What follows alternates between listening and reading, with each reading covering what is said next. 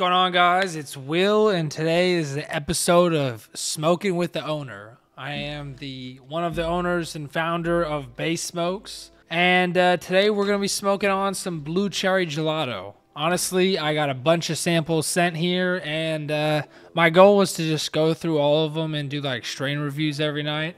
I pretty much smoke. I try to just smoke once a day at the end of the day, and just kind of review new strains every day. That's kind of what I do, do anyway, just kind of for the company and making sure what we sell is good and it should be priced according to what I think it should be priced for. And um, I figure I might as well start recording it. So I'm not I'm not the best uh, weed reviewer by any means at all.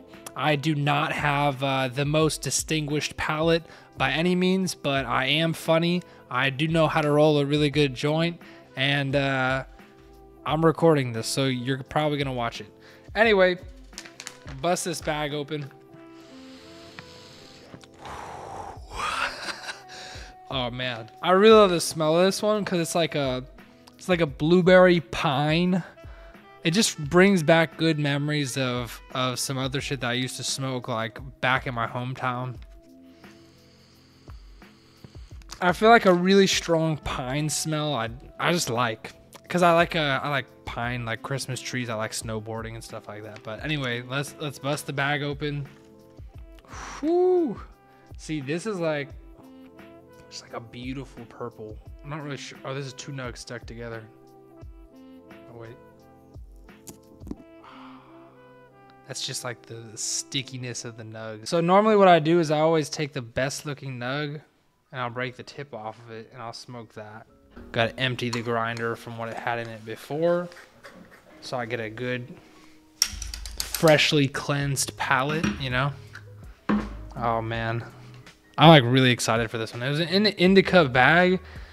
I think like the piney, the pinene is the name of the terpene, I'm pretty sure, but I think that is like a little bit of a sativa kind of terpene, but I'll let you know as soon as I smoke it. Oh, Man, I gotta, I gotta do like an ASMR of these nugs cracking. I love weed so much. See, this is like, this is like just a, a passion project of mine. It's something that I have been doing for a long time, and uh, ultimately it turned into this business. Oh, this looks so beautiful. I feel blessed that just the industry is the way that it is. My goal with this, with this company, with what I'm doing, you know, being a part of this industry in general is like, it's in kind of a weird area now, right? Like how the law is that we're able to do what we do. Um, there's definitely a lot of people who want to see this industry go away, which is really sad to me because ultimately, I like what this is about is that people have access to good cannabis at good prices all over the country. They have lots of strain options and it's legal. Like if you get caught with this, you get pulled over and it's in your car or whatever, not smoking in your car. Don't don't smoke and drive like don't be ridiculous. That's just as harmful as drinking and driving. Some people are going to argue otherwise, but don't do that. You know, we try to go above and beyond in terms of like enforcing extra compliance on ourselves and you know, obviously, like we already are fully compliant with all the hemp guidelines, but I'm trying to take it to the next level. I'm trying to be fully compliant with like what the regulations would be like if it was like fully um fully recreationally legal because like that's what I would like to see Bay Smokes as an advocate of that. And uh more so than anything like uh I guess a, a pillar, like right.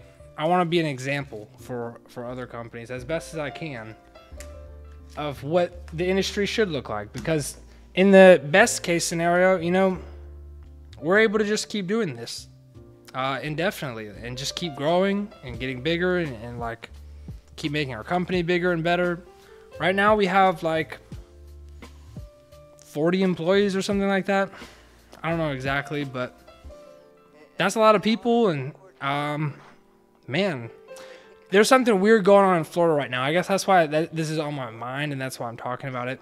Florida is like trying to pass this uh, law that would basically shut down the hemp industry. And like, I moved my business to Florida almost three years ago.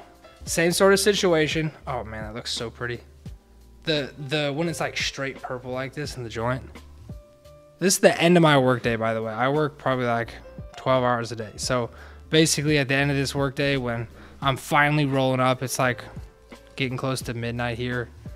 My brain is fried. I'm already exhausted from all the nonsense I deal with on a daily basis and all the stress and everything. So, kind of just going, let my brain just like unwrap and and just just kind of spill what's what's on the noggin as I'm rolling up. These are thoughts that I otherwise would have just kept to myself or ranted to my partner about. We're going in on this inside out joint. But yeah, like what I was saying, um, Florida is trying to pass something. Today it passed, uh, I don't know the exact uh, term, like passed like the the house floor or something like that. And man, the medical marijuana companies are really trying to lobby in Florida against the hemp industry, which is wild to me because like we're all pushing the same product, but there's just people in this industry that are trying to monopolize it. And for the consumer, that is a terrible, terrible thing. That only five or 10 companies run all the weed in the country. That's a terrible thing. And if we look at like the California market, for example, they're a lot more open. It's a hell of a lot more than just five companies doing their shit over there. But because the government tried to step in and do things a weird way and the taxes are so high and all the regulations are so crazy, most of California is black market still. Making this legal and safe for everybody and also bringing it out of the black market and just into like a regular business where people like myself and other mom and pop store owners where anyone can just start up a store and make it a dispensary as long as they follow the guidelines. I don't think it needs to have some crazy, super expensive license that it's like really hard and expensive to get in the game. Because at the end of the day, it's just a plant. You know, anyone can grow this really easily. It does not take that much to do it. And especially if you're just growing for yourself, the plant is really easy to grow. It kind of grows itself. If you get good seeds, kind of just grows itself. So it's like, why do we have to have so many people in the middle of it and so much regulation around it? Imagine if this much regulation was around like tomatoes. Like, you know how expensive tomatoes would be?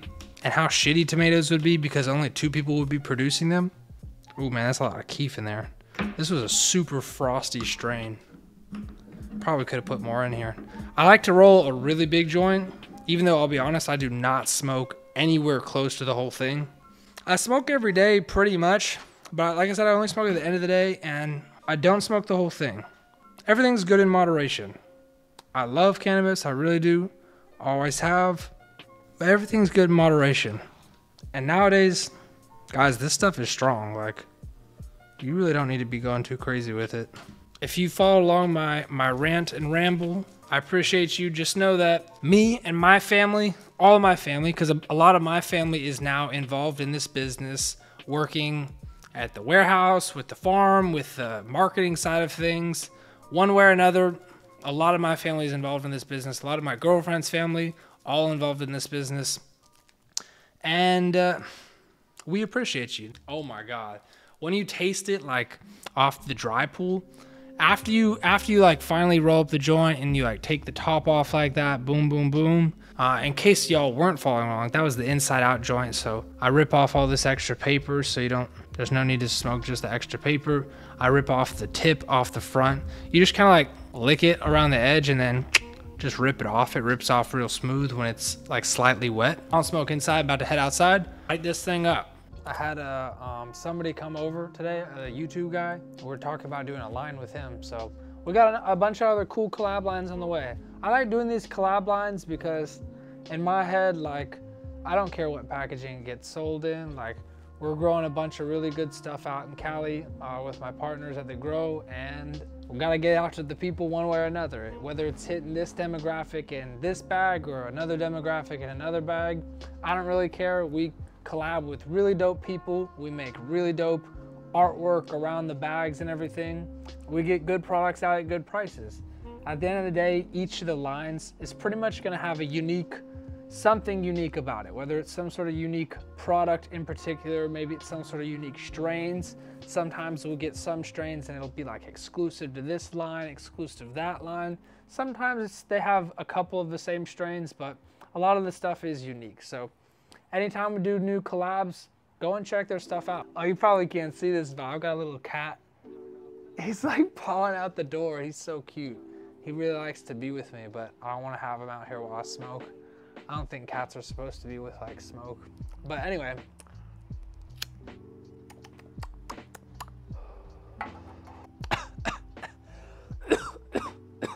you can't bring me to any smoke competitions or anything like that. I can't do none of that, but that pine taste really comes through when it smokes. I don't know how to describe it. And like I said, I, am really not, I'm really not some sort of uh, super flavor describer.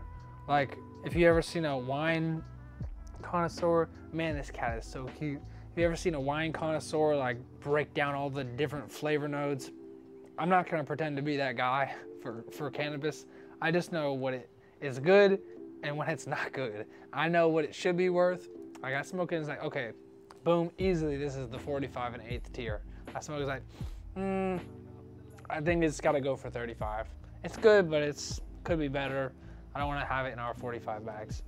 So that's pretty much like what I go for when I'm smoking these. Me personally, I prefer, my favorite is like the indica high, like where you really just get kind of like slumped relaxed, like, because being a, a business owner and, uh, you know, I don't know, I do a lot of things for my business and the job is always changing. As a as an entrepreneur, the job is always changing nonstop, but either way, it's it is extremely extremely stressful. So it's like by the end of the day, something that just kind of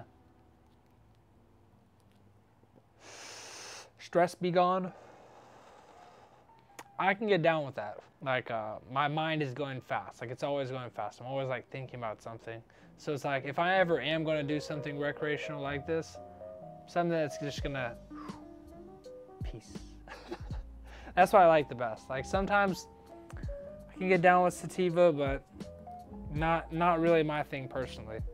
Uh, so when I am testing strains, I would much rather be testing an indica or a hybrid. Like I said, this was supposed to be an indica.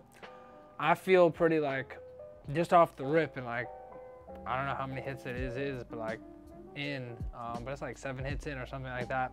And my body feels like real chill. Like your brain kind of feels like don't like stuck somewhere like just like like a like still. That's a better word still not stuck.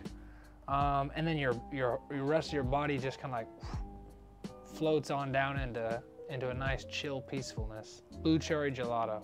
That's about it for me though This ashtray has a lot of joints in it that just have like three hits taken out of. three, three to seven hits on a, on a good joint. Depends on how good it is. Honestly, if it's too good, I might have to put it out early. a lot of times what I like reviewing the best is the 45 and 8th tier. That stuff is super, super fire. I'd say, you know, best best way to smoke, even if you're trying to be on a budget, we have some phenomenal budget options. Like honestly, our greenhouse $65 ounce stuff goes crazy. Like for the for the value and what it is, amazing deal. And the $75 uh, exotic shake, honestly, that's a great smoke. That's a that's a I would rather buy that than anything else if I was on a budget. But the exotic tier for sure, just cause like flavor and terpenes are such a big part about the experience of your cannabis and you get a lot more of that. A, when it's indoor grown, it's able to produce as much terpenes as possible from the actual grow and preserve it from the way that it's treated thereafter because it's in more everything's controlled about the environment like temperature humidity etc so the actual from grow harvest cure all of that it's kind of just able to be fine tuned in to preserve that terpene profile as much as possible. My aim and hope with Bay Smokes is that honestly, just provide a bunch of great deals to make this product, like I said, super accessible to all different types of people who want whatever different types of things. So anyway, if you watched this far, that was a lot of ranting for sure, but just know I really appreciate you. Like I said, my family really appreciates you. Here's to another 100 years of, of this being able to happen.